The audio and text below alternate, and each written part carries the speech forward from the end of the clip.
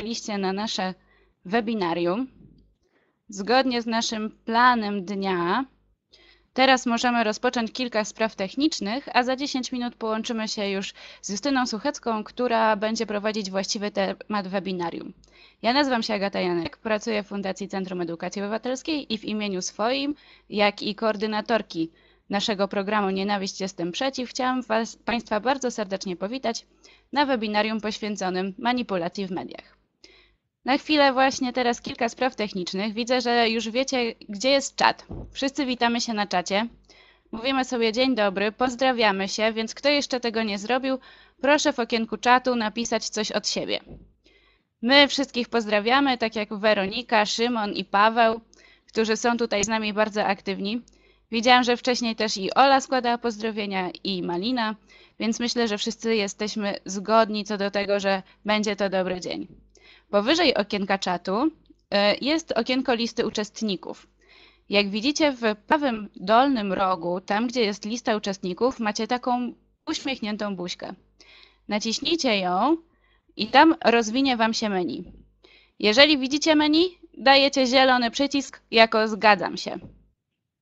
Tak, żebym wiedziała, że macie tą funkcję opanowaną. Dużo osób znalazło to, o co mi chodzi. Jest dużo zielonych guzików. Czekamy jeszcze na Kasię, Kornela, Ele, Dominika. Co z Wami? Sylwia, Tomasz, wiecie, gdzie jest ten przycisk? Widzę, że uczestnicy jeszcze dochodzą do naszego pokoju, ale przycisk na pewno zielony i czerwony przyda Wam się podczas całego webinarium. Jeżeli będziecie mieli jakieś problemy techniczne, e, dajcie koło ratunkowe, czyli potrzebuję pomocy. Zmieńcie swoje przyciski na potrzebuję pomocy A wtedy, jeżeli potrzebują się takie, pojawią się takie koła, ja odezwę się do Was w czacie moderowanym i będziemy próbowali sobie radzić, jak e, rozwiązać Wasz problem techniczny. Często są to jakieś problemy z łączem, albo coś się nie przeładowała strona, e, więc mam nadzieję, że sobie poradzimy. Teraz czyścimy, czyli wyczyść mój status. Czyścimy swoje kółka żeby nie wprowadzały nas w błąd. Kasia, Paweł i 6 na 6. Dobra, prawie wszystkim się udało. To jest najważniejsza funkcja naszego webinarium. W czat publiczny mamy już opanowany. W, w oknie głównym będzie pojawiała się y, prezentacja, a także będą czekać na Was krótkie ankiety oraz filmy z YouTube. Y, ja chciałabym przeprowadzić taką krótką ankietę z Wami teraz. Jeżeli możecie odpowiedzieć na to pytanie. Widzę, że pomału już spływają odpowiedzi. Już pięć osób ukończyło ankietę.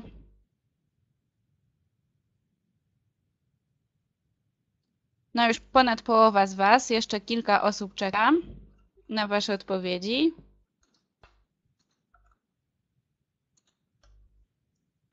A zaraz udostępnię Wam wyniki.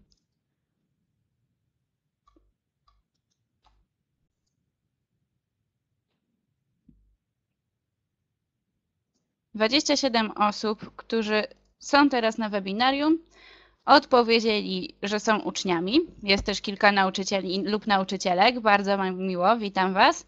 Oraz większość była już na webinarium, dlatego tak dobrze e, opanowaliście czat oraz e, całą naszą platformę webinaryjną.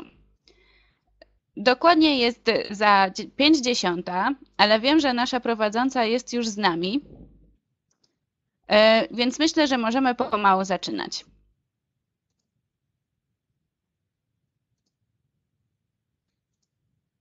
Oddamy jej obraz. Tak. I dźwięk. Dobra. Jestem. W takim razie ja życzę Państwu miłego odbioru, dobrego webinarium i myślę, że możemy zaczynać. Powodzenia. Dzień dobry i cześć. Ja w przeciwieństwie do Was e, robię to pierwszy raz, do części z Was, bo widziałam, że niektórzy też tutaj debiutują. E, zanim zaczniemy o głównym temacie, to bardzo bym chciała, żebyście korzystali z czatu. Dlatego że ja cały czas będę na niego zerkać i zerować i kiedy będzie się działo coś, co powinnam szybko skomentować, czy odpowiedzieć na Wasze pytania, to ten czat e, na pewno będzie do tego świetny. Będzie mi trudno Wam odpisywać, więc postaram się to robić tak jak teraz, tak? Czyli widzę, że Wy mnie witacie i Zgierz mnie pozdrawia i Katowice i wszyscy i bardzo jest mi miło. E, pozdrawiam Was z mojej kanapy w Warszawie. Mam nadzieję, że dobrze mnie widzicie i wszystko tutaj. E, z tym nie ma problemu. Nie świeci Wam ta lampa za plecami? Na czasie nikt nie pisze, więc nie świeci. Dobra, właśnie to chciałam usłyszeć. E, kochani, zanim zaczniemy ten główny temat, czyli porozmawiamy sobie trochę o manipulacjach, ja chciałabym powiedzieć dwa słowa o sobie. E, wiem, że trochę już e, wiecie, bo wysyłałam jakąś notkę, ale nie wszyscy czytają, a poza tym to ładnie się przedstawić. Tak jak powiedziała Agata, nazywam się Justyna Suchecka, na co dzień pracuję w Gazecie Wyborczej. Pracuję tam już 7 lat, a mam lat 28, więc jak łatwo możecie sobie policzyć, zaczęłam pracę w gazecie będąc na studiach, a studiowałam na Uniwersytecie Ekonomicznym w Poznaniu. Tam skończyłam ekonomię i politykę społeczną, to są dwa kierunki i w czasie studiów pracowałam w poznańskiej redakcji. E, do Warszawy przeniosłam się całkiem niedawno, bo wiosną 2013 roku e, i od tej pory kontynuuję to, co lubię najbardziej, czyli piszę o Was, bo piszę o młodzieży, o edukacji, o Waszych problemach i sukcesach. A dzisiaj w tym webinarium, które będzie poświęcone mm, manipulacjom, chciałam, żebyśmy trochę porozmawiali i pokazali sobie przykładów bieżących, to znaczy przykładów dotyczących tematów uchodźców dlatego że o tym jest ostatnio bardzo głośno, dużo się mówi, trudno jest zweryfikować źródła, sami na pewno to doskonale wiecie, e, więc takich przykładów trochę tam jest. Dla mnie to jest szczególnie bliski temat migracja, dlatego że moi wszyscy dziadkowie pochodzą z terenów dawnej Ukrainy. E, znaczy z dzisiejszej Ukrainy, dawnej Polski, z, Zabuga, byli przesiedleńcami. Bardzo dużo opowiadali mi o tym, jak uciekali ze swoich rodzinnych stron, jak układali sobie życie na nowo już e, na zachodzie Polski, skąd e, pochodzimy. Więc dzisiaj, kiedy śledzę tę historię, to jakoś bardzo mocno się w nie wczuwam, bo widzę moją babcię i mojego dziadka. O, i pozdrawiam częstochowską grupę i Zagoździe też pozdrawiam. A teraz już mogę do rzeczy, prawda? E, kochani, pierwsza rzecz, którą chciałam, żebyśmy zrobili, to jest coś, czego też nie robiłam, bo robię webinarium po raz pierwszy. Mam dla Was ankietę. Ona jest bardzo łatwa. Ma tylko jeden trudny punkt. Dlatego, że teraz właśnie ją wklikuję. Czy Wy ją widzicie? Mam nadzieję, że tak. E, ankieta jest o tym, skąd czerpiecie informacje o świecie. I teraz uwaga, kluczowe słowo. Najczęściej, czyli wybierzecie, możecie wybrać tylko jedną odpowiedź. I to jest ta trudna część pytania. Wiem, że niektórzy z Was oglądają e, webinarium w kilka osób, na przykład przy jednym komputerze z jednego konta, więc musicie ze sobą ustalić, które to jest takie najpowszechniejsze dla Was, ok? Dobra, już prawie połowa nam odpowiedziała. Poczekamy na wszystkich, dobra? To nie jest trudne pytanie, mam nadzieję. No, idzie nam ekspresowo. Okej, okay. jeszcze chwila. Ja przyznaję, ja z internetu, więc y, nie będę klikać, ale mm, pewnie, pewnie wiecie. Mimo tego, że pracuję w papierowej gazecie. Czat prywatny. Dobra. Jest. Dobra. Jeszcze chwilę, czekamy jeszcze na cztery osoby, dobrze? Hmm. Czy te cztery osoby jeszcze nam powiedzą, jak zdobywają informacje? Prawie wszyscy. Dobra. E, dlaczego Was o to pytam? Dlatego, że prezentacja, którą przygotowałam, opiera się głównie na informacjach, które ukazywały się w prasie i w internecie. E, trochę mniej w telewizji, ale chcę Wam pokazać, jak bardzo łatwo jest manipulować informacjami w internecie. I tak czułam, że tam będziecie najczęściej i tak mi właśnie pokazuje. Nie ma za co przepraszać za spóźnienie pod warunkiem, że Tomek i Wrocław wypełniliście właśnie moją ankietę. E, I, I tam właśnie wyszukacie informacji, ja szukam informacji, więc chciałabym zrobić tak, żebyśmy się wszyscy nie dali oszukiwać. Dobra, słuchajcie, pięć osób nam nie odpowiedziało, ale myślę, że to dlatego, że dopiero wyszły później. Ja zakończę głosowanie, żebyśmy już nie czekali. To nie jest kluczowe, to jest tylko ważne dla mnie. Udostępniam wam wyniki w tej chwili i jak widzicie ten internet się potwierdza, bardzo wielu z was e, ogląda telewizję. Sporo się przyznaje do tego, że bierze informacje z internetu, ale konkretnie z memów, e, z tego co wrzucają znajomi na Facebooku. E, Ja przyznaję, że traktuję Facebooka jak agencję prasową, czyli bardzo dużo czytam tego, co moi znajomi wrzucają. Było to dla mnie ważne, bo teraz wracamy do prezentacji. Już wypełniamy, wspaniale. To jestem ja. Jak widzicie, są tu moje kanały na Facebooku, na Twitterze, na Snapchacie i Instagramie, dlatego że próbuję się tam kontaktować z czytelnikami, ale to jest najmniej ważne. Najważniejsze w tej chwili jest to, co widzicie następne. Czy znacie, kojarzycie taki tytuł? E, I teraz szybka odpowiedź naszym zielonym albo czerwonym kółeczkiem, tam przy tej buźce, gdzie Agata Wam tłumaczyła. Jeżeli kojarzycie ten tytuł, Chory na ebolę zgwałcił księdza w czołgu, to poproszę o zielone kółeczko. Jeżeli nigdy wcześniej go nie widzieliście, to czerwone. Dobra? Mogliście go widzieć w innych miejscach niż gazeta. Mogliście go widzieć na przykład na demotywatorach albo na wiedzy bezużytecznej. Nie widzieliście. O, są, są niektórzy, którzy widzieli. Dobra. Ekstra. Kto widział zielone, kto nie widział czerwone. Niekoniecznie w papierowej gazecie. Jeszcze, jeszcze. Dobra. Wielu z Was nie widziało.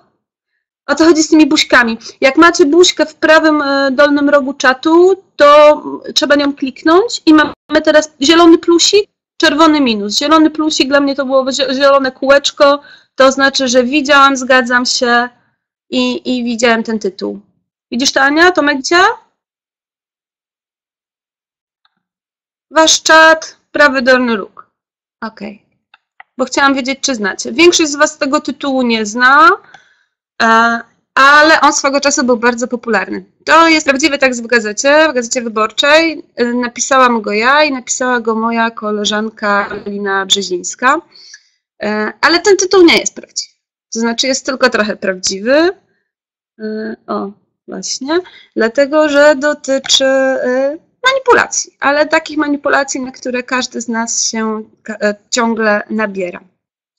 Czy kojarzycie taką sytuację, jak e, się zdarza nam czasem, że hmm, coś klikniecie na Facebooku na przykład, albo częściej to wasi rodzice, bo a przynajmniej moi rodzice, coś klikną na Facebooku i wyskakuje im na przykład e, zobacz zdjęcia tej pary, po nich ich życie już nigdy nie było takie samo, albo wypadek na, w naszej miejscowości, albo em, zobacz, co brat powiedział Angelinie, ale nigdy w życiu nie czytaliście artykułu na ten temat, tymczasem on jest na waszym Facebooku i wszyscy mogą go zobaczyć.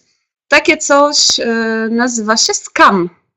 I skam internetowy to jest to zjawisko, na którym próbują e, żerować różnej maści cwaniaki. Takim najgłośniejszym skamem, który możecie kojarzyć i on jest tutaj na zdjęciu.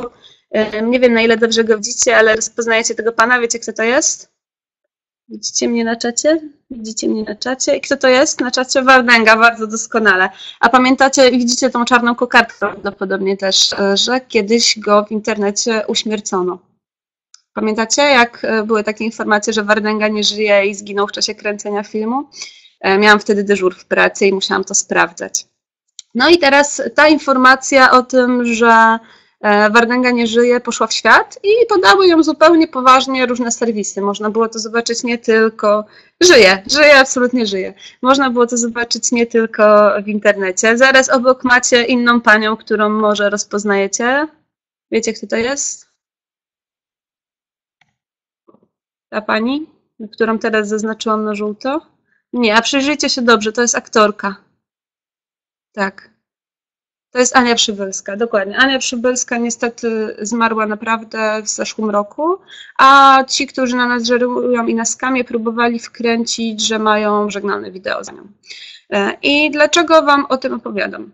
Dlatego, że bardzo, bardzo często na takie informacje nabierają się nie tylko internauci, nie tylko ja, wy, nasi znajomi rodzice, e, ale także media. To się bardzo często zdarza, bo te artykuły z kamerów wyglądają zupełnie tak jak in, artykuły informacyjne.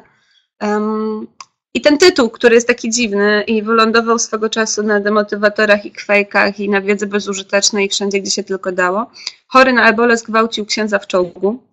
To jest e, kompilacja trzech prawdziwych skamów, trzech takich oszustw, na które się nabieraliśmy. Chory na ebolę to był tekst o tym, że już 300 osób jest chorych na ebolę w Poznaniu. Jak wiecie, nieprawda. Zgwałcił księdza to był taki skam, na który nabierali się ludzie, a tak naprawdę miał tytuł Skinheadzi w Białymstoku zgwałcili księdza. Nic takiego nie miało miejsca. Ale ten skam wyglądał tak wiarygodnie i tak prawdziwie, że wiele serwisów podało jako prawdziwą informację, w ogóle nie sprawdzając, nie dzwoniąc na policję, nie dzwoniąc do parafii, po prostu skopiowali informację y, o, taką oszukańczą z kamerów, a czołg w tym tytule wziął się stąd, y, że pisano wówczas, że czołgi stoją już na granicy Polski, czołgi rosyjskie. Jak się domyślacie, żadna z tych informacji nie była prawdziwa. Ale ten tytuł, takie zdjęcie, jak teraz widzicie bez tych żółtych kółek, e, wylądowało na takim fanpage'u, który się nazywa Nagłówki nie do ogarnięcia. I teraz bym chciała, żebyśmy znowu przetestowali zielone guziczki, e, kółeczka przy buźce. Kto zna nagłówki nie do ogarnięcia na zielono, kto nie zna, ten na czerwono. Ja, ja znam, to ja na czerwono, na zielono. Kto zna nagłówki? Nie mówię, że macie to bardzo lubić, ale czy kojarzycie w ogóle taki profil? Dobra. Nagłówki nie do ogarnięcia na zielono. Nie, nie znamy na czerwono. Dobra. Danuta, Elżbieta, Agata. Znacie nagłówki, czy nie znacie nagłówków? Dobrze, okej. Okay. Widzę, że wielu Was zna. E, nagłówki nie do ogarnięcia to nie jest tylko profil na Facebooku. Oni też mają swoją stronę. Dla tych z Was, którzy nie znają, oni wrzucają tam takie nagłówki, które albo zawierają błąd, albo są głupie, albo są śmieszne. Na przykład taki na mojej koleżanki, e, studenci dziennikarstwa nie chcą studiować dziennikarstwa e, abstrakcyjne. Ten nagłówek też wylądował na nagłówkach nie do ogarnięcia. Dokładnie w takiej formie, w jakiej widzicie, czyli zdjęcie z gazety, e, trochę rozmazane, ale bardzo mocno widać tytuł, widać zdjęcia Ani Przybylskiej, widać zdjęcia Wardęgi. Jak jeszcze nie znacie nagłówków, to je możecie poznać, warto śledzić, jest zabawnie. Ale teraz, dlaczego o tym mówię? Bo ten wpis wygląda dokładnie tak jak teraz. Gdybyście zobaczyli ten tytuł, to pomyślelibyście prawdopodobnie, że albo dziennikarz oszalał, albo w Polsce dzieją się jakieś koszmarne rzeczy. Ja bym pomyślała, że dziennikarz oszalał. E, I, I teraz co się stało? Oni wrzucili to na swój Facebook. Bez komentarza. Wrzucili to tak jak teraz, tylko że taki tytuł w gazecie wyborczej. Efekt był taki, że ten wpis zobaczyło 200 tysięcy osób. Normalnie ich wpis ogląda 30 tysięcy. E, I tak jak widzicie, jest tutaj napisane, e, oni zostawili na tyle dużo treści samego artykułu, żeby ludzie mogli zobaczyć, że to jest informacyjny tekst o skamie i że to jest tekst o tym, jak się należy z takimi informacjami obchodzić, dlaczego nie wpisywać swoich numerów telefonu, dlaczego nie płacić, dlaczego nie klikać takie rzeczy. A mimo to, to co widzicie obok, to jest mało czytelne, dlatego Wam e, trochę opowiem. To są komentarze internautów o tym, że wyborcza kłamie, że dziennikarze są głupi, że jak to w ogóle możliwe. No dobra, i skoro pojawiały się takie komentarze przy tamtym tekście, to o czym to może świadczyć? Bo dla mnie jest tylko jedna odpowiedź. Zaglądam na czat, czy ktoś wie, o czym świadczą takie komentarze? Hańba też, hańba też, ale przede wszystkim świadczą o łatwowierności i o tym, że słuchajcie, ci ludzie w ogóle nie przeczytali tego tekstu. Prawda? Przeczytali tylko tytuł. No po tytule można było napisać dokładnie to wszystko, co oni napisali w komentarzach. No właśnie. No i po co cały ten długi wstęp, w którym jeszcze ani razu nie padło słowo uchodźcy? Dlatego, że takie skamy pojawiają się na każdy temat, który Was interesuje. E, ludzie, którzy wymyślają takie tytuły, którzy wymyślają takie artykuły i liczą na to, że nas zmanipulują i wykorzystają nasz brak wiedzy, dokładnie taka geta, wybierają rzeczy, które nas kręcą które nas interesują. Nie zawsze przyjemne, bo to są czasem jakieś czarne skrzynki z wypadku samolotu, właśnie tak jak było w przypadku tego strasznego filmu, który, który nie istniał Ani Przybylskiej. Y, jej śmiercią żyło bardzo dużo osób. Więc na przykład jeden z najnowszych skamów, sprzed paru tygodni, ja zrobiłam screena zdjęcia ze strony mojej koleżanki. To jest skam dotyczący uchodźców. 29-letnia Polka brutalnie zgwałcona w okolicy ośrodka dla uchodźców w Lininie. Wygląda jak prawdziwa informacja? No wygląda, jest zdjęcie, jest tytuł, jest nawet w miarę taki, e, zobaczcie, e, prawdziwy adres wiadomości24.pl, e, wrocław.pl. No, jakbym to zobaczyła i, i nie wiedziała, czego szukam, to bym pewnie w to uwierzyła. I teraz jak zweryfikować taką informację, jak nie dać się na nią nabrać i co zrobić, żeby się nie doszukać. Gdybyście zobaczyli taką informację w internecie, czy są w gazecie wyborczej też szukane informacje, jeżeli gdzie nie każda się nabrać, to prawdopodobnie są.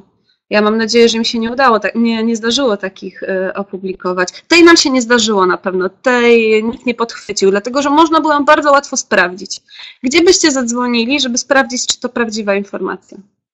Jest jeden właściwy kontakt, albo dwa nawet. Na policję, to jest najlepszy. Do gazety bym nie zadzwoniła, chyba żebyście znaleźli numer na te Wrocław 24. E, do papu też nie, ale gdzie byście zadzwonili? Słuchajcie, zobaczcie, macie podpowiedź w tytule. Do ośrodka, dokładnie Aneta, do ośrodka uchodźców w Lininie. Oczywiście możemy założyć, że stało się tam coś złego i, e, i, ktoś nas tam po prostu chce okłamać. Wtedy jest policja. E, Gosia ma rację, wystarczy wpisać tego newsa w Google i sprawdzić, czy jest gdzieś w innych informacjach. E, ale oczywiście może być tak, że oni byli wsi, tak? Więc zawsze warto mieć e, jeszcze jakieś źródło. I tu jest taka zasada e, dwa źródła. Czyli dzwonimy do ośrodka i dzwonimy na policję. Wtedy mamy pewność, że ta informacja jest prawdziwa albo nieprawdziwa. Ta jest nieprawdziwa. Tak, na Facebooku jest takich informacji mnóstwo. Jest nawet mnóstwo innych informacji, jeszcze gorszych, bo Dzisiaj na Facebooku każdy, kto ma profil publiczny, czyli nie jest mną, mną czy wami, ale na przykład e, stroną internetową, nie tylko może wypuścić e, wirusa, jak mówi Aneta, czyli właśnie scam, ale może też pełni zmanipulować treść artykułu. Czy myślicie, że to prawda? Zielone kółeczka tak, czerwone nie. Andrzej Duda powiedział, emigranci to zdrajcy narodu, nie ma dla nich miejsca w naszym kraju. Zielony prawda, czerwony kłamstwo. Zaznaczamy kółeczka przy buźkach, tam gdzie zawsze, czy to jest prawda, czy to jest kłamstwo. Zielony prawda, czerwony kłamstwo. Ok, zastanówcie się chwilę. Jak inaczej sprawdza się, czy informacje są prawdziwe? E, pozwól Weronika, że wrócimy do tego przy następnym e, pytaniu, ok? Znaczy przy, przy jednym ze slajdów, bo to przygotowałam. Jeżeli dasz mi chwilę cierpliwości będziesz cierpliwa. Więc nie, oczywiście to nie jest prawda to, co tu widzicie. Ale taka informacja została opublikowana i udostępniona w internecie 30 tysięcy razy. I znowu wróciliśmy do tego, że ludzie, którzy opublikowali tę informację, ona wyglądała jak news z Onetu, czyli raczej z serwisu, który podaje informacje dość wiarygodne. Może nie zawsze, ale jednak. Ale ludzie to udostępniali. A udostępniali to dlatego, że nie klikali w link, bo gdyby kliknęli w link, to dowiedzieliby się, jak to się robi. Mój kolega Michał Wilgocki, e, który opisał tę historię, opisał słowa Andrzeja Dudy, które nigdy nie padły, te o Polakach za granicą, wytłumaczył, ja bym chciałabym też to teraz powiedzieć krótko, jak taki błąd mógł powstać. 24 czerwca Polska Agencja Prasowa podała depesze. Depesze papowskie, depesze z papu e, mm, trafiają do wszystkich redakcji. One bardzo często wchodzą na stronę nawet bez redagowania. Dziennikarz może zmienić tylko tytuł, kopiują to, one są podpisane PAPS, więc warto zwracać na to uwagę, czy coś jest autorskim artykułem dziennikarza, czy tylko e, depeszą e, papowską. No i ta depesza papowska, dokładnie z tym zdjęciem, e, które tutaj widzicie, była o rozmowie Andrzeja Dudy z Piotrem Dudą, z szefem Solidarności Związków Zawodowych. No i oni rozmawiali, to było w kampanii prezydenckiej, rozmawiali o różnych ważnych sprawach dla nich i Onet, który okej, okay, nie dla wszystkich może być wiarygodny, e, opublikował tę depeszę, ale opublikował ją dokładnie tak, jak ona się ukazała. Przy czym dał jej tytuł Andrzej Duda, projekt w wieku emerytalnego w sierpniu.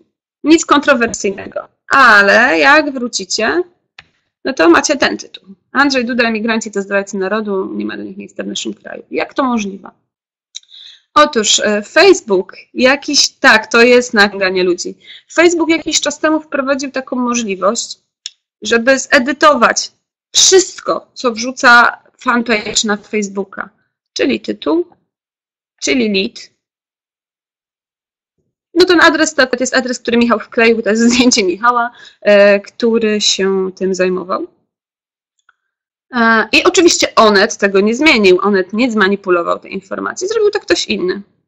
ale informacja poszła w świat. Czy da się tak zrobić z każdym newsem e, prasowym? Niestety tak. Dlatego musicie być czujni. Żeby to udowodnić, Michał opublikował tego samego dnia taką informację. O, o tym, że ksiądz Oko, który mówi różne niezbyt miłe rzeczy o innych, powiedział: Myliłem się do, do związków partnerskich, powinny zostać zalegalizowane. Jak mówimy w redakcji, dzień, w którym powie tak ksiądz oko, to dzień, w którym zamarznie piekło prawdopodobnie. Więc jak się domyślacie, to bardzo niewiarygodna informacja. I nie, to nie jest typowy Facebook wirus. To jest coś, co może zrobić między innymi dziennikarz. To jest coś, co może zrobić każdy, kto prowadzi oficjalne konto uwiarygodnione na Facebooku. Facebook nie sprawdza informacji, nie robi roboty dziennikarskiej. To może zrobić na przykład fanpage Gazety Wyborczej, to może zrobić fanpage żelaznej logiki, onetu, nagłówków nie do ogarnięcia. Jeżeli wy nie klikniecie w link, nie przeczytacie, co jest w środku, to tylko wasza odpowiedzialność. To tylko wy daliście się zmanipulować i oszukać. Bo przecież nikt wam nie kazał czytać tylko po tytule.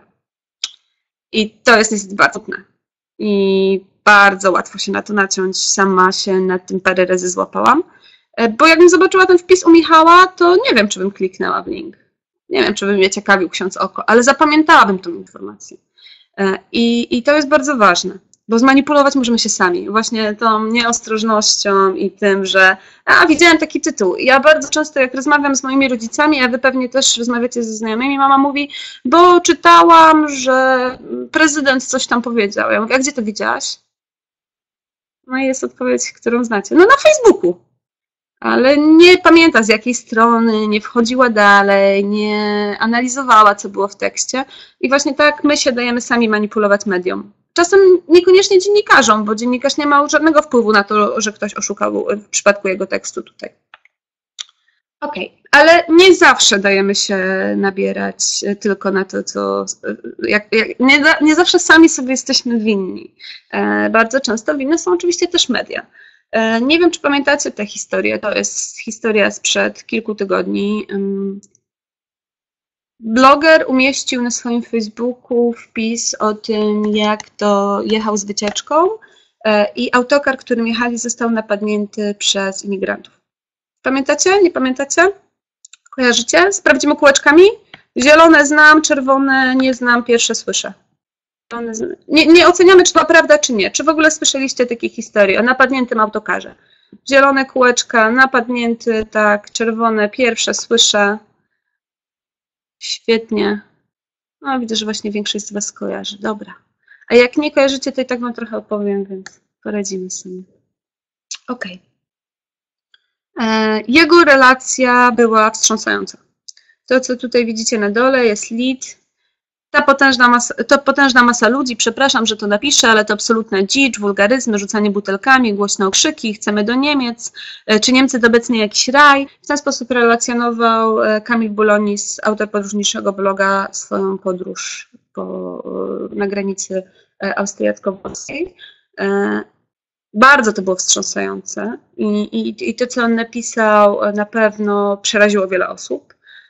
Przede wszystkim jednak zainteresowało media zainteresował bardzo. To jest e, strona frondy.pl i to, co tutaj Wam przekopiowałam dalej, e, to jest to, co się na stronie Frondy mm, opublikowało. Tak, drogie te opony, nie dałam rady skasować reklamy. Autor tekstu, zobaczcie, to jest bardzo długi tekst. Autor tekstu nie ma nazwiska, to tylko KZ łamane przez Facebook. E, radzę Wam zwracać na to uwagę. Jeżeli ktoś się nie podpisuje swoim nazwiskiem, to nie dlatego, że się wstydzi tekstu zwykle, tylko dlatego, że tekst jest krótki. Akurat ten krótki nie jest. Ale autor tutaj nie bardzo mógł się podpisać całym nazwiskiem, dlatego że jedyne, co napisał sam z siebie, to to, co zaznaczyłam na czerwono. Autor prowadzi blog podróżniczy, obywatel świata. Trudno go posądzić o prawicowe katolickie poglądy. Kamil Bulonis otwarcie bowiem pisze o sobie na Instagramie dziennikarz Globetrotter gay, a na profilu na Facebooku prezentuje swoje zdjęcie w kolorach tęczy. Wczoraj w nocy Kamil Bulonis zamieścił relację z podróży autokarem jadącym z Włoch do Austrii. Tak relacjonuje Kamil Bulonis. I to, co widzicie pod spodem, to jest wpis skopiowany w całości. Na dole jest podpis. No i to jest cały tekst, który ukazał się na stronie. On się ukazał też na Facebooku e, tego portalu i ukazał się, no właściwie obiekt cały internet. E, czemu niektórzy dziennikarze piszą rzeczy, które nie są prawdziwe lub mam podkolorowane dnia? Bardzo bym chciała, żeby tak nie było. Wydaje mi się, że jeżeli mam szczerze odpowiedzieć na Twoje pytanie, to, podkol- to koloryzują po to, żeby przyciągnąć uwagę. Koloryzują głównie tytuły i lidy, po to, żeby ktoś w nie kliknął, E, bo dzisiaj większość e, rzeczy, które sami odpowiedzieliście na to pytanie, czytacie w internecie i to nie jest fair, to nie jest fajne. E, I, i na pewno będziemy jeszcze o tym rozmawiać. W tej konkretnej informacji zabrakło. Mamy relację blogera, który opowiada o tym, jak przez półtorej godziny próbował na granicy z Austrią walczyć o swoje życie. Mamy komentarz, że jest rzekomo wiarygodny, bo pisze o nim katolicki portal, a sam jest gejem, więc mu ufają. Ale to nie jest dobry artykuł. Czego w nim brakuje, Waszym zdaniem? Cisza na czacie? A przecież Wy wiecie, czego w nim brakuje, bo już sami dzisiaj mówiliście. Zdjęć, ok. Bo wcześniej mieliśmy, żeby nie było wątpliwości, takie zdjęcie. I jak widzicie, poza drugimi oponami to nie jest y, zdjęcie z tego autokaru. Komentarze autora z Facebooka, grafiki prawdy prawdy, nie, jeszcze na tym etapie nie wiemy, czy to jest nieprawda, ale właśnie, i to jest to, czego nam brakuje. Nikt poza człowiekiem, który tam był, nie opowiada tej historii. Dziennikarz nie skontaktował się z tym człowiekiem, tylko skopiował jego wpis na Facebooku, czyli nie zadzwonił do niego, nie potwierdził. Tak, Wernika, dokładnie. Brakuje pewnych źródeł, które by to potwierdziły. Ale dokładnie w ten bo nie było, że ja się czepiam frondy, bo to nie tylko fronda tak zrobiła, jak sami zaraz zobaczycie. W ten sposób zadziałało wiele, wiele, wiele, wiele innych miejsc. To jest na przykład niezależna. Granica z Austrią, wstrząsająca relacja Polaka z autokaru napadniętego przez imigrantów. I znowu, dokładnie to samo, specjalnie dla Was skopiowałam, Wy dostaniecie tę prezentację później, więc będziecie mogli zobaczyć. Tu nie ma opon, dziękuję Sylwia. E, to jest wpis. I to jest to, co widzicie? To jest artykuł, on się tak zaczynał. Tu pod spodem była ta relacja z bloga tararara, tararara. E, ale zobaczcie, jaki jest komentarz. Wczoraj w nocy Kamil, to jest komentarz dziennikarza niezależnej. Wczoraj w nocy Kamil Bulonis zamieścił relację z podróży autokarem jadącym z Włoch do Austrii. Jest ona tak poruszająca, że przytaczamy ją w całości, zwłaszcza, że nie ma co liczyć na to, by media głównego nurtu wyłamały się ze schematu narracyjnego mówiącego o złych węgierskich nacjonalistach i biednych imigrantach. Bardzo mocny komentarz taki atakujący, tak? Bo sugerujący, że wszyscy inni piszą nieprawdę. Ale znów, skoro to prawda, to czemu w tym tekście nie ma nikogo, kto by to potwierdził? Poza blogerem, który, jak wiemy, jak każdy człowiek, a jak widzieliście doktora Hausa, to wiecie to nawet lepiej, wszyscy kłamią. Więc jeżeli mamy jedną osobę, to musimy sprawdzić, czy ona mówi prawdę. Tak samo wy, jak skończycie oglądać tę prezentację, potem wam dam linki do tych stron i, i screeny, możecie sprawdzić, czy was nie zmanipulowała. Staram się nie, ale ograniczone zaufanie to bardzo dobra rzecz. Informacja poszła w świat bardzo, bardzo, bardzo szeroko. Nie tylko na serwisy informacyjne, to jest strona Korwina Mikego, który jest europosłem, jak wiecie. Dzicz, z bardzo mocnym tytułem Dzicz na granicy z Austrią atakuje polski autokar. E, Korwin skopiował e, to samo co reszta. E, jako źródło podał portal kresy.pl, to jeden z tych portali, które podały wpis Bulonisa. Tak, Patryk miał 4,9% przed wejściem do Sejmu. Być może gdyby lepiej weryfikował informacje, miałby 5, bo przekonałby do siebie więcej osób, nie wiadomo. Ale teraz, jak to sprawdzić? Mm, jedyny wpis, ale to nie, niekoniecznie jest to jedyny, na który trafiłam. E, dziennikarz, który wykonał tę mrówczą robotę i zadzwonił gdzie trzeba, to Rafał Romanowski, który był w tym czasie we Włoszech. I to jest fragment jego tekstu, za chwilę Wam pokażę całość. To, co z, na co warto zwrócić uwagę, to jest to, co on powiedział, że sensacyjny artykuł ten Bulonisa z Facebooka udostępniło 30 tysięcy osób a o zamieszkach wywołanych przez ogromne zastępy imigrantów, tłumacząc wpis Bulonisa, napisali dziennikarze z Norwegii, Kanady, Węgier, Szwecji, Francji i USA, między innymi. Więc nie tylko Polacy dali się na to nabrać. nie tylko Polacy dali się uwieść tej historii. E, serwisy prawicowe, ale nie tylko, serwisy, który, w których dziennikarze boją się imigrantów po prostu, czy serwisy, które mają dziennikarzy i nie ma ludzi, którzy mogliby zweryfikować te informacje, podały ją dalej. A jak sprawdził Romanowski w czasie, i to jest bardzo ważne, po pierwsze pisał do e, autora tego wpisu, napisał do tego blogera i ten bloger y, zabrał ponownie głos. Jak zaczynał tłumaczyć szczegóły, odstają mi włosy, dziękuję. E, jak zaczął tłumaczyć szczegóły, to się zaczął w nich gubić, bo nagle mówił, że miał zasłonięte okna, a wcześniej powiedział, że szyby były zbite, e, że autokar był zmasakrowany, a potem się okazało, że normalnie pojechał dalej. Więc to się wszystko nie do końca zgadzało i zapalała się czerwona lampka, E, o co tu właściwie chodzi, ale to nie był największy problem. Największy problem był taki, że kiedy. Bo to była załóżmy, że to była bardzo stresująca sytuacja. Oni się mogli pogubić, prawda? On mógł się zdenerwować, nie do końca wszystko zapamiętać. Ale wtedy dzwonimy na policję. To należy zrobić. Już sami to mówiliście dzisiaj kilka razy. I e, Romanowski to zrobił. Zadzwonił na posterunki karabinerii i włoskich służb e, z tego rejonu. E, zarówno my, jak i Główna Komenda Policji, Prowincji Bolzano nie mieliśmy takiego zgłoszenia ani w ostatnich dniach, ani wcześniej, tym bardziej w rejonie Dymowa, tej SS 621. To wiejski region, uchodźcy nie mieliby czego szukać.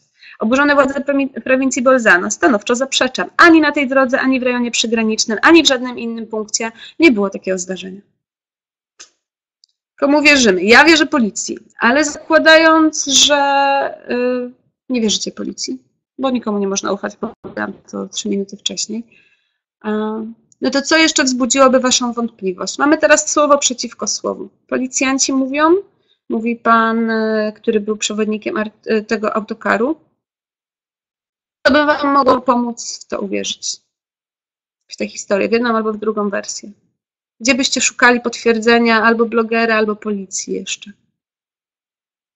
To jest trudne pytanie. Nie ma zdjęć. Już wiemy, że nie ma zdjęć, nie ma filmów. Jest słowo policji kontra słowo blogera. Kogo byśmy szukali? Piszę na czacie. Biuro podróży, świetnie. Ktoś musiał organizować tę wycieczkę. Jest bardzo dobry trop. Boga można zapytać. Nie wiem, czy odpowie. Świadkowie. Tak, ekstra. Jeżeli nie policja, a mamy przewodnika turystycznego, który mówi, że był tam z wycieczką, no to mieliśmy 5 osób w tym autokarze i żadna z nich dziwnym trafem nie ma zdjęć, nie ma nic do odpowiedzenia. Świetnie, mieszkańcy, jasne, super byłoby być w tej okolicy. Załóżmy nawet, że to było na drodze pomiędzy miejscowościami, nie w mieście, tak? Gdzieś na granicy. Ale tych ludzi, do których można dotrzeć, żeby sprawdzić te informacje, jest wielu, wielu, wielu, wielu i sami ich wymieniliście. Okay. więc y, bardzo jestem optymistycznie nastawiona, bo jestem przekonana, że gdybyście zobaczyli ten wpis na Facebooku, napisalibyście lepszy artykuł niż wielu dziennikarzy z kilkunastu państw świata. Tak by było? Parafia, świetnie, bardzo dobry trop. Okay. a teraz wracamy do Polski. Dobra? Y, I znów będą potrzebne no czerwone kółeczka, więc zróbmy teraz taką rzecz. Wyzerujcie proszę wszyscy, czyli klikamy w buźkę i tam jest wyczyść mój status. Dobra, wszyscy czyszczą status? Wszyscy czyszczą status? Znikają zielone kółeczka, ekstra, i czerwone, jeszcze, jeszcze, jeszcze trochę ich zostało, liczę na Was. Nie chciałam pisać Kinga, do Ciebie napisałam to niechcący. Uff, już prawie czysto. Jeszcze Roberta i jeszcze Gozdo i jeszcze Dominika z jedyneczką, jakbyście wyczyścili status właśnie. Dobra. Gotowi? Ja teraz wrzucam zdjęcie. Wow, takie trudne. I dla mnie jest trudne. Czy znacie to zdjęcie? Widzieliście to zdjęcie w internecie? Zielony widziałam, czerwony widziałem. Nie odpowiadamy na pytanie, czy to Photoshop. Tym się zajmiemy za chwilę. Zielone widziałem, czerwone nie widziałem, bo chciałabym wiedzieć, czy znacie tę historię. Zielone widziałem, czerwone nie widziałem. Dobra, zielone, o, większość z Was nie widziała. Dobra, ekstra. Agata, Angela, Krystyna. Widzieli, nie widzieli. Zielone widziałem, czerwone nie widziałem. Zachęcam. Dobra. E, to też jest świeża historia z tej jesieni. Jest to wejście do metra w e, Warszawie, gdzie podobno Mówię podobno, dlatego że to było podważane, ale zaraz sobie dowiemy się. Pojawiły się te napisy i one były, zobaczcie, są tak napisane prawie tak jak ja napisałam tym żółtym ołówkiem, więc wyglądają trochę jak z Photoshopa. A wyglądają jak z Photoshopa tak naprawdę, dlatego że były napisane mazakiem. Dlaczego to zdjęcie jest ważne? Dlatego, że publikowało je na swojej stronie e, HateStop, a przede wszystkim, e, kiedy. O, wie, wiecie, co to jest HateStop? HateStop to jest taka akcja e, zamalowywania napisów na murach, takich obraźliwych właśnie jak te. I nie jest to Photoshop i nie jest to zrobione w Paincie i nawet dostarczono na to dowodów, ale ja też w pierwszym odruchu byłam przekonana, że ktoś to namalował prawie tak jak ja. E, I dobrze, hate stop. Wracamy do, do sedna, żeby nie było, że nie zdążymy, mam jeszcze sporo do opowiedzenia. Hate Stop zamalowuje napisy na murach w różnych miastach, między innymi w Warszawie. Jest nawet taka specjalna aplikacja, gdzie można iść ulicą, zobaczyć napis, zrobić mu zdjęcie, wysłać. Oni to przekazują do odpowiednich służb i te służby zamalowują napisy. To zdjęcie wysłała dziewczyna do nich, mm, która przechodziła tym przejściem podziemnym i zobaczyła ten napis. A, i tej historii tu nie mam, więc muszę Wam opowiedzieć z głowy. E, napis znikł w przeciągu kilkudziesięciu minut, więc zdjęć jego zrobionych jest trzy albo cztery różne, od dwóch różnych osób. Na tych innych wygląda już dużo lepiej i to jest zadanie dla Was znaleźć zdjęcia tego napisów, które nie wyglądają jak w pęcie. Niekoniecznie w tej chwili, ale zapewniam Was, że są. Dlaczego ten napis w ogóle stał się popularny? Dlatego, że użytkownicy serwisu COP i nie tylko, podważali jego autentyczność. Podważali jego autentyczność nie dlatego, że nie wierzyli, że ktoś to napisał, bo takie napisy znamy na murach w różnych innych miejscach, ale dlatego, że jeden z serwisów informacyjnych wykorzystał to zdjęcie. Dokładnie to. E, żeby zilustrować tekst o tym, że wtedy jeszcze premier Ewa Kopacz brała udział w zamalowywaniu hejterskich napisów. I teraz e, mamy do czynienia z dwoma prawdziwymi informacjami, które połączone razem były nieprawdziwe. To znaczy, Ewa Kopacz naprawdę zamalowywała napisy. Ten napis istniał naprawdę, ale zostało wykorzystane do tekstu o tym, że Ewa Kopacz zamalowywała napisy. E, a tego napisu na pewno nie zamalowała, bo zamalowały go służby wiejskie. I to zmyły go właśnie bardzo, bardzo szybko. On był tylko przez tam kilkadziesiąt minut czy kilka godzin w sumie e, widoczny. No właśnie. I przez to ta informacja poszła w świat, internauci podważali całą akcję, pojawiały się teorie spiskowe, że to nawet sam Stop napisał to, żeby tylko to zmyć, e, że Ewa Kopacz nie mogła tego zamalować. Tak, to prawda, Ewa Kopacz nie mogła tego zamalować, ale zrobiła się z tego wielka, wielka afera i tak jak mówi Halina w telewizji, Ewa Kopacz była w innym miejscu, więc tak, nie zamalowała tego napisu. Więc teraz y, możemy to uznać za dwie rzeczy. Możemy to uznać za manipulację serwisu, który opublikował to zdjęcie, z, z Kopacz? Możemy. Możemy uznać to za głupi błąd, bo dziennikarz miał prawdopodobnie kilkadziesiąt różnych zdjęć, różnych napisów i wybrał to, które mu się najbardziej podobało. E, możemy to uznać za lenistwo. Wziął to, co miał pod ręką. E, żadna z tych wersji nie jest fajna, e, ale nie zmienia sedna sprawy. I teraz to, o, o co możemy się spierać. Tak, Ewa Kopacz robiła coś fajnego i zamalowywała napisy. Nie, te napisy nie są fajne. I bez względu na to, gdzie były i kto je zamalował, nie powinno ich być. A wiemy, że są prawdziwe. E, takie napisy to nie była wcale rzadkość, jak pamiętacie. E, takie rzeczy pojawiają się też na forach internetowych serwisów e, wszystkich, od lewa do prawa.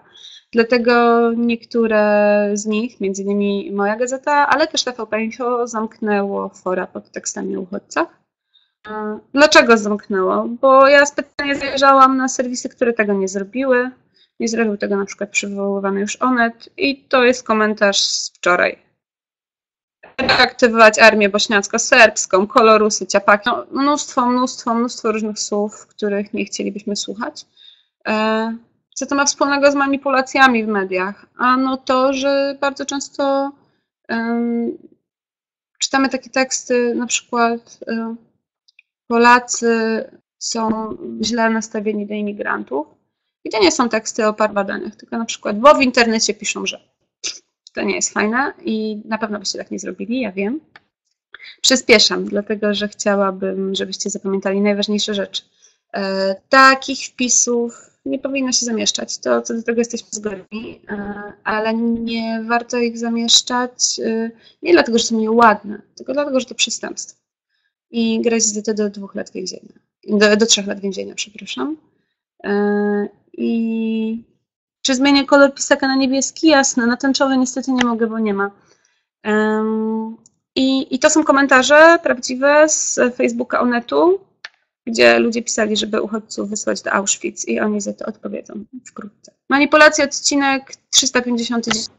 Instagram. Znacie co niektórzy, nie wszyscy. To są zdjęcia z Instagrama, e, Instagramu um, prezydenta Syrii. Widzicie tutaj po prostu jego żonę rozmawiającą ze studentami, miłego pana w garniturze, wyścig rowerowy tutaj na przykład. Um, widzicie flagę powiedzą o Breseci. No miło jest generalnie w tej Syrii, prawda? Na tych zdjęciach. Bardzo fajnie. Ale jak e, wyjdziemy z Instagrama i wpiszemy sobie w Google Kobane, to jest syryjskie miasto, i bez manipulowania wyciągniemy pierwsze obrazki z tego, jak wygląda w tej chwili, to zobaczymy takie obrazki. I to już nie jest tak, no nie ma powiewających flag, nie ma dzieci, są wybuchy, zniszczone miasta. Takich zdjęć nie znajdziecie na Instagramie. Ale tymi zdjęciami, które na Instagramie prezydent Syrii okrasza swoje konto, można zobaczyć wiele, wiele różnych. Tu są rysunki dla dzieci, w sensie o, o to mi chodziło. E, obrazek, a nie ma ich potem, kiedy wpiszemy w, w, Google. To są pierwsze obrazki, które wyskoczyły, ja ich nie wybierałam. Możecie to potem zweryfikować i sprawdzić. Tak, kamuflaż. Wszyscy chcielibyśmy, żeby to był kamuflaż. Dlaczego Wam pokazuję te obrazki? Bo bardzo często manipulowanie w mediach odbywa się przez obraz. Tekst jest o czymś tam, czasem nieważnym, czasem ważnym, ale to, co zapamiętujemy, to zdjęcie. I wy na pewno to wiecie, bo wszyscy mamy coś takiego, że obraz y, mówi czasem więcej niż tysiąc słów. I teraz w przypadku dyskusji o uchodźcach te obrazy były bardzo często sprzeczne. Wiele osób pytało, czemu na zdjęciach są sami mężczyźni. Pamiętacie takie fotografie? Na pewno. Manipulowanie obrazem to jest to, co jest poważnym zagrożeniem. Dlaczego na zdjęciach są sami mężczyźni? To pytanie wracało jak refren w dziesiątkach dyskusji, w setkach artykułów, na forach, na Facebooku, na pewno je widzieliście. E, ale do tych wszystkich zdjęć mężczyzn bardzo łatwo można było dać kontrę. To nie jest trudne. Ja nieco ironicznie pytam, gdzie są rodzice tych dzieci. To też są uchodźcy. To jest zdjęcie z e, parku w, e, na Węgrzech, w Budapeszcie, gdzie jedna organizacja pozarządowa postanowiła pokazać dzieciom kreskówki, żeby mm, się nimi zająć, żeby się nimi zajmować. I teraz jak wygląda rzeczywistość uchodźców? Czy to są sami mężczyźni? To są same dzieci. Ja nie wiem, jest bo ten obraz nie jest biało-czarny. To są i mężczyźni, jak się zaraz dowiemy, jest ich zdecydowanie więcej niż kobiet, i dzieci, które uciekają. I dlaczego są sami mężczyźni, to pytanie jest bardzo ważne i odpowiadają na nie eksperci. 76% uchodźców to mężczyźni. I to są oficjalne, prawdziwe, podawane przez międzynarodowe organizacje. E, a komentarz jest, komentarze są dwa. E, właśnie Łukasz e, Federyk podaje dane, pani profesor Agata Skowron-Nelborczyk, islamolog, to są ich wypowiedzi z FM. Tłumaczy między innymi dlatego, że taka jest ich kultura że chcą prowadzić, że, że mężczyzna wychodzi jakby naprzód po to, żeby kobieta została w bezpiecznym miejscu, bo te, oni już często uciekli z Syrii, oni często są na terenie, e, czy, czy na terenie Grecji, e, tam gdzie już udało im się przekroczyć granicę, w Turcji, e, zostawiają rodziny, idą dalej na zachód, bo wiedzą, że będą mogli te rodziny ściągnąć. Czy to jest fajne i niefajne? Nie chcę, żebyśmy to oceniali. Chcę, żebyście pomyśleli o tym, jakie są fakty. Fakty są takie, że tak, 76% uchodźców to mężczyźni. Ale nieprawdą jest, że nie ma tam dzieci. Że tych dzieci nie ma, że nie ma kobiet. Więc kiedy ktoś wam mówi, czemu tam są sami mężczyźni, że odpowiedzieć na pytanie, jeżeli chcecie szukać tego dalej, że to wynika z kultury, że to wynika z geografii. I, i to jest bardzo ważne. Kobiety i dzieci to też są uchodźcy, tylko nie zawsze będą na wszystkich zdjęciach, bo jeżeli ktoś jest w obozie w Jordanie, czy w obozie w Turcji, to może to wyglądać tak jak tutaj. Obrazem można pokazać wszystko, co się Można sobie znaleźć zdjęcie pod każdą tezę. Um, dowód, jedno chyba z najsłynniejszych zdjęć. Bardzo drastycznie. Ja wybrałam tę wersję specjalnie, na którym nie widać tego chłopca. I bardzo jestem ciekawa, czy wy znacie to zdjęcie? Zróbmy to, co zawsze z buźkami, czyli y, zielony znam, czerwony nie znam. Prawda?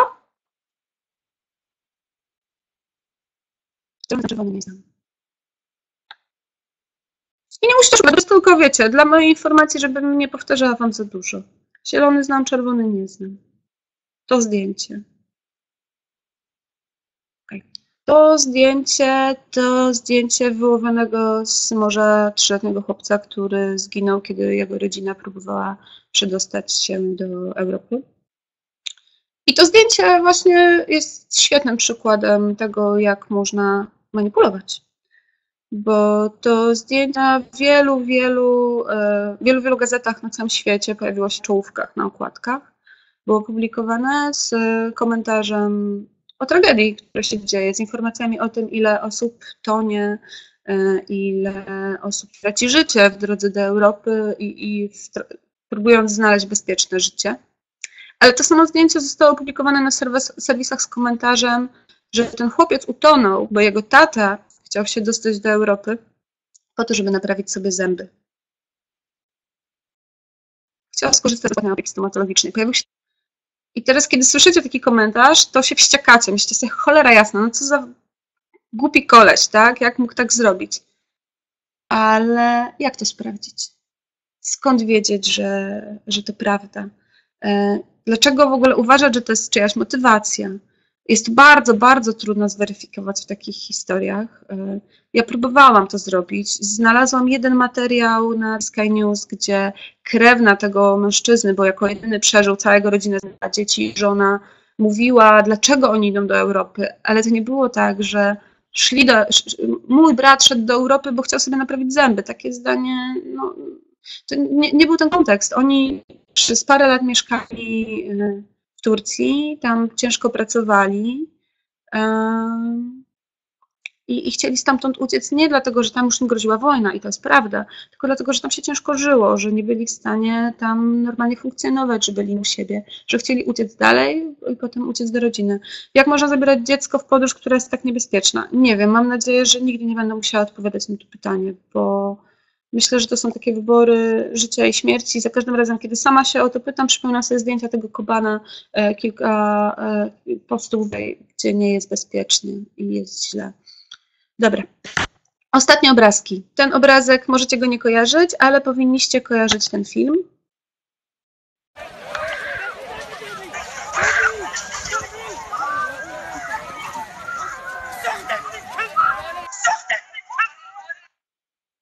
Puszczę go jeszcze okay? Żeby nie było. Patrzcie szczególnie na końcówkę, co tam się dzieje, jeżeli go nie widzieliście wcześniej.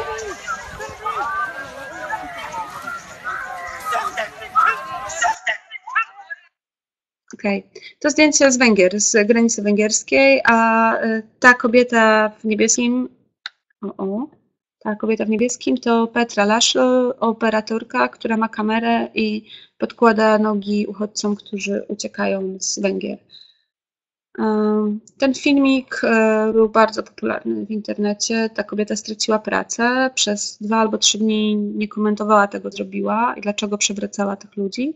E, wiem, że muszę kończyć powoli, żeby były zaraz pytania, więc bardzo będę mówić szybko.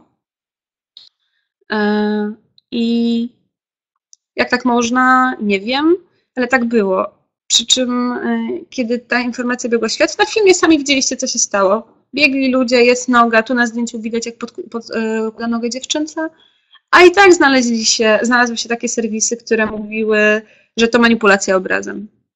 Nikt tam nie był. Skąd mamy pewność, że to nie jest manipulacja obrazem? Stąd, że po dwóch dniach ta kobieta przeprosiła za to, co zrobiła. Powiedziała, że nie wie, co w nią wstąpiło. Okej, okay, to już było za późno i możemy jej wybaczyć albo nie, ale ona potwierdziła, że to miało miejsce. Potwierdził to też ten człowiek. To jest pan, którego widzieliście na tym filmie on niósł tego chłopca, to jego syn. E, to znany w tej serii piłkarz i trener piłkarski, który uciekał z jednym ze swoich dzieci. E, przez Węgry. E, możecie kojarzyć jego historię, bo to jest człowiek, który znalazł pomoc w Hiszpanii, spotkał się z Cristiano Ronaldo, a dostał możliwość szkolenia się piłkarskiego, będzie mógł być trenerem w Hiszpanii, zaopiekowano się nim, ściągnięto całą jego rodzinę, więc ta historia skończyła się happy endem. Chciał zapewnić mu, swoim dzieciom dobrą przyszłość. Dlaczego obrazy są ważne? Ja, e, zanim skończymy, chciałam Wam polecić, to, to nie jest może najpiękniejsze zdjęcie świata, ale zdjęcia z takiego bloga jak Humans of New York. Brandon autor tego bloga, normalnie robi zdjęcia nowojorczyków. To jest jeden z najpopularniejszych e, fotoblogów na świecie. Na Facebooku ma kilkanaście milionów fanów. E, ale Stone drugi raz w swojej karierze wyjechał z Nowego Jorku zawodowo na zaproszenie organizacji pozarządowych i ONZ-u wcześniej, po to, żeby pokazać miejsca poza, poza Nowym Jorkiem. Tym razem pojechał właśnie do państw, w których są uchodźcy i fotografował historię Syryjczyków, e, głównie Syryjczyków, którzy mieszkają w Grecji i, i w Niemczech, i w Austrii, w obozach. Dlaczego Wam e, polecam? Bo kiedy myślimy o takich historiach, bardzo często opowiadamy właśnie, że tak globalnie sobie wyobrażamy, tak, że gdybym ja był w Syrii, to bym walczył, gdybym ja był w Syrii, to bym chwycił za broń. To jest bardzo łatwo powiedzieć, ale dużo trudniej o tym pomyśleć, kiedy oglądamy indywidualne historie, na przykład tej pani dzieci czy innych bohaterów. Tam takich historii znajdziecie mnóstwo, mnóstwo, mnóstwo. I już kończąc, zanim przejdziemy do pytań, kiedyś baliśmy się mniej. E, dwa lata temu pisałam o Światowym Dniu Uchodźców i wtedy nie było takich komentarzy na forach, nie było komentarzy, że to dzicz, nie było komentarzy, że nie chcemy ich mieć u siebie. E, znaczy oczywiście jakieś tam negatywne były, ale nie w takiej skali. E, za to były bardzo ciekawe badania, tutaj wam je wrzucam, żebyście się z nimi zapoznali, e, o tym, co uchodźcy chcieliby i mogli robić w Polsce. I tu chciałabym wam szybko pokazać dwa filmy i już przechodzimy do pytań. Pierwszy film to jest właśnie film ze Światowego Dnia Uchodźcy. Odpalamy.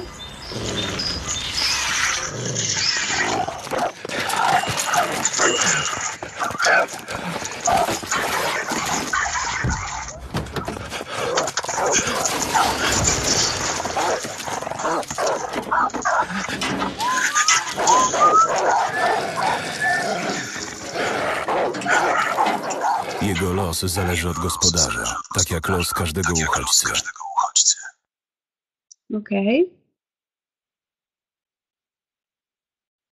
Drugi troszkę późniejszy, z człowiekiem, którego znacie. Już prawie.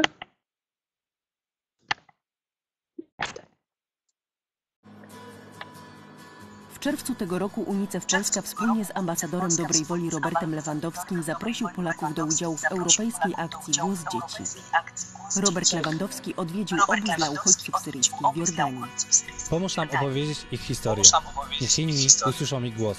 Swojego głosu dzieciom poprzez portale społecznościowe użyczyło 8 milionów Europejczyków, w tym tysiące Polaków. Dziękujemy.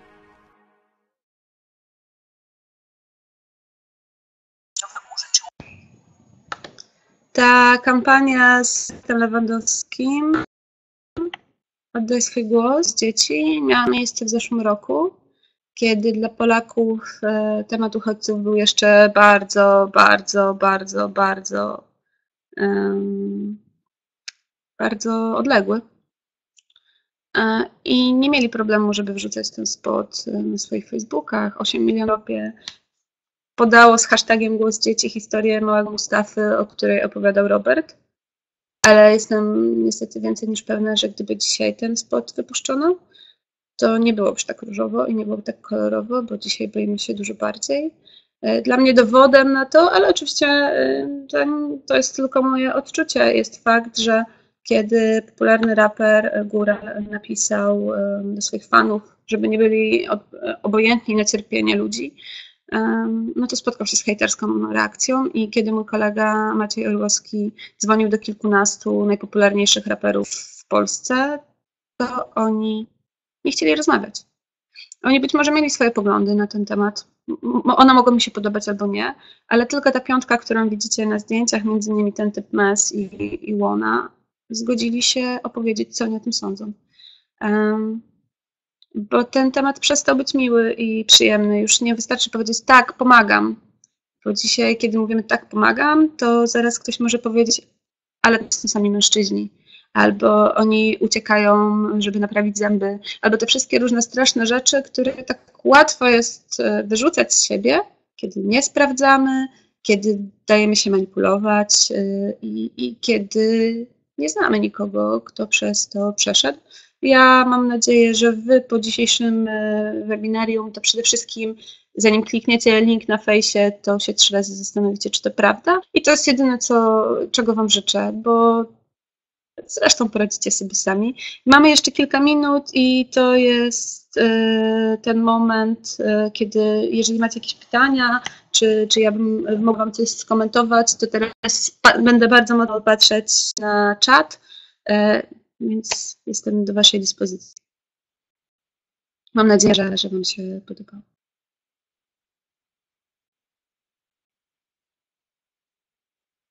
Co ja sądzę na temat uchodźców? E, ja sądzę, że trzeba im pomagać, że to nie jest łatwe, że to jest kosztowne i że to jest bardzo trudne też e, w takim sensie. Byłam e, dwa miesiące temu w szkole w Berezówce na Podlasiu, gdzie dzisiaj już uczą się uchodźcy, bo my już w Polsce mamy uchodźców, tylko nie było nich tak głośno, to są głównie Czeczeni i Ukraińcy. Bardzo trudno tym dzieciom, bo ja przede wszystkim myślę o dzieciach, odnaleźć się w polskiej szkole, gdzie e, nikt nie mówi w ich języku, gdzie muszą się uczyć polskiej historii, e, polskiej biologii mm, i w ogóle tych rzeczy, które są dla nich obce. A jeszcze przed chwilą były w świecie, w którym kończyła się wojna, więc bardzo dużo przeszły i, i dlatego ja uważam, że trzeba im pomagać, ale trzeba poza tym, żeby mm, dawać szansę tutaj, to trzeba też pomoc skierować tam, trzeba tę pomoc kierować e, jak najbliżej Syrii, tam gdzie ten konflikt w tej chwili trwa. Dlatego bardzo popieram wszystkie akcje, czy polskie akcji humanitarnej, czy UNICEF-u. No bo od tego, czy oni będą bezpieczni, zależy, czy my będziemy bezpieczni. To nie jest tak, że to jest jakaś wojna tysiące kilometrów stąd i ona nigdy nas nie dotknie. Wy i ja już wiemy, że ona już nas dotyka, choćby przez to, że właśnie spieramy się o to, czy dla tych ludzi jest miejsce u nas. Kto wydać odpowiada za podpisy pod zdjęciami? E, zdjęcie inna podpis kolejny. Generalnie powinien odpowiadać za to fotoedytor. E, I w redakcjach takich większych e, fotoedytorzy są zatrudnieni i oni badają bardzo dokładnie, żeby zdjęcie było dobrze podpisane, ale często się zdarza, zwłaszcza w takich stykowych sytuacjach gdy coś się dzieje, że wpisuje to z ręki na przykład dziennikarz albo redaktor na stronie i zwykle stąd się biorą błędy.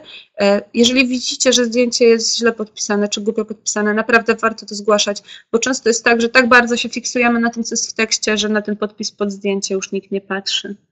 E, czy byłabym w stanie przyjąć uchodźcę do siebie w domu? E, jestem w tej chwili u siebie w domu, więc żebyście nie mieli wątpliwości, mieszkam na 30 kilku metrach, więc w tej chwili nie byłabym w stanie. E, ale to, co byłabym w stanie zrobić, to na pewno wspierać ich finansowo, więc gdyby była taka możliwość, żeby przekazywać część wynagrodzenia i na przykład z tego wiedziałabym, że jest dofinansowywane mieszkanie, to zrobiłabym to bez dwóch zdań.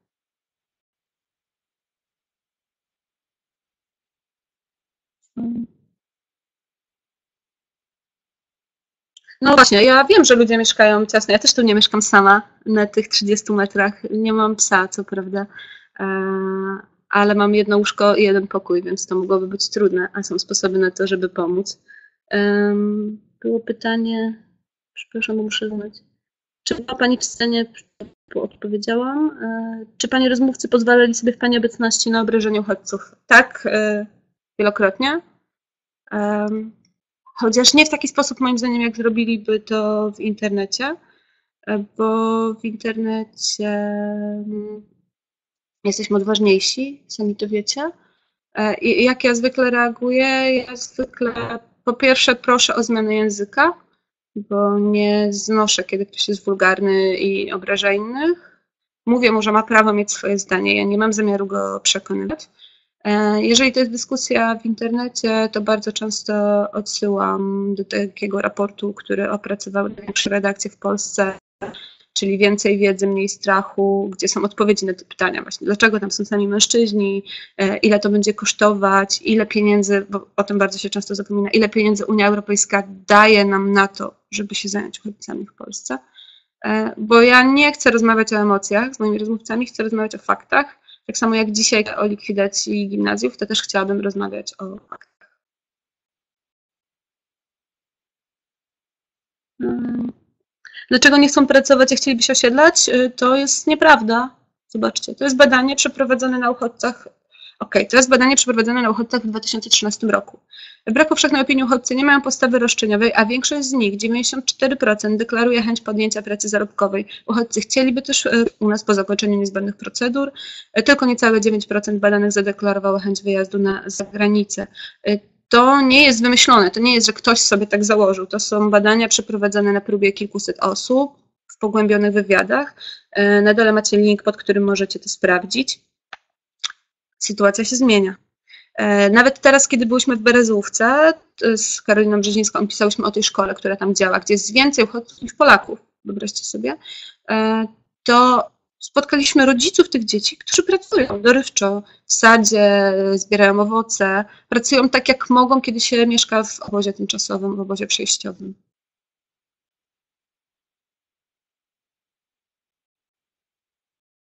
Nazwa na nasze tak? E, To ja wrócę do tego pierwszego slajdu, gdzie macie wszystko napisane, gdzie mnie możecie znaleźć, bo teraz już nie będzie czasu pewnie, żeby e, za dużo rozmawiać, e, ale ja bardzo chętnie do tych waszych pytań. A, coś popsułam? O. Ja bardzo chętnie do tych waszych pytań wrócę. E, Dlatego, jeżeli będziecie chcieli e, mnie jeszcze o coś zapytać, czy coś zweryfikować, czy jakoś będę mogła Wam pomóc, to możecie mnie szukać tu, możecie mnie też szukać na Facebooku, dokładnie tak jak, bo to jest to, co tu widzicie, ta duża grafika, to jest screen e, z mojego Facebooka. Wystarczy, że wpiszecie moje imię i na- pewno mnie znajdziecie. Tam jest najłatwiej. Także służę. Jeszcze jakieś szybkie pytania, bo mamy trzy minuty chyba. Czy nie mamy już? Nie mamy.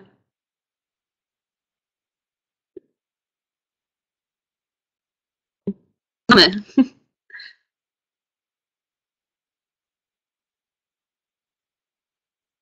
Jest Gata, już widzę. Mamy jeszcze czas na krótkie pytanie ostatnie. A znacie jakieś państwo, w którym wprowadzono dżihad jako, e, jako prawo państwowe? I to bo e, jak już wiecie, na przykład nie ma stref szariatu w Polsce. Ani w Szwecji, ani w Anglii. U nas jest dużo Ukraińców, którzy pracują, tak, to prawda. E, Czy relacja będzie dostępna? Z tego co słyszałam, tak. Na YouTube. Dobrze, to myślę, że zostały nam dwie minuty. Teraz mój czas. Dobra. E, Ja będę słuchać. tylko wyłącz swój mikrofon. Tak. I już dodaję was na snapie, tak. E, Ja natomiast e, chciałabym wam- bardzo podziękować za to, że wzięliście udział w webinarium. Oczywiście cały materiał zostanie udostępniony. Nagranie z tego webinarium zostanie udostępnione na Facebooku e, i wysłane, e, i pewnie włożone na profil nasz na Facebooku, ale także w linku, który dostaniecie po zakończeniu webinarium. Tam też będzie prezentacja od Justyny, którą tutaj dzisiaj dla Was przygotowała. Na koniec chciałabym właśnie, żebyśmy jej podziękowali na czacie za czas, który z nami spędziła. Wiem, że zaraz biegnie do redakcji, więc myślę, że to jest dobry moment, żeby jej podziękować. A także mam jeszcze ostatnią prośbę, żebyście wypełnili ankietę. To już jest ostatnia ankieta, ale myślę, że wyniki będą bardzo ciekawe.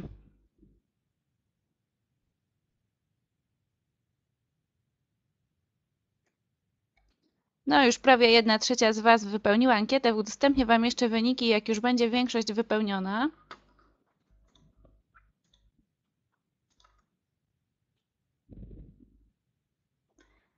Gimnazjum numer 3 dziękujemy. Również Wam dziękujemy. Byliście bardzo aktywną grupą na e, czacie. Mimo to bardzo rzeczową i bardzo konkretną. Widać było, że zjawisko uchodźców nie jest e, Wam obce, manipulacja w mediach także, więc naprawdę te rozmowy były na wysokim poziomie. I cieszę się, że braliście y, udział w naszym webinarium. Aktualnie 37 osób wypełniło ankietę, więc, a jest nas dzisiaj 45, więc jeszcze czekamy na ostatnie głosy. Ale widzę, że już nie spływają, więc żeby nie przedłużać, bo jest już 11, e, udostępniam Wam wyniki.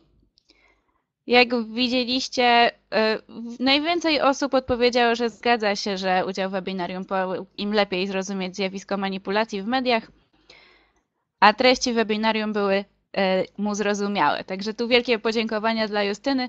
Dziękuję Wam bardzo również za udział w webinarium. Mam nadzieję, że do zobaczenia wkrótce. A teraz już 11, więc żegnam się z Wami. Do zobaczenia.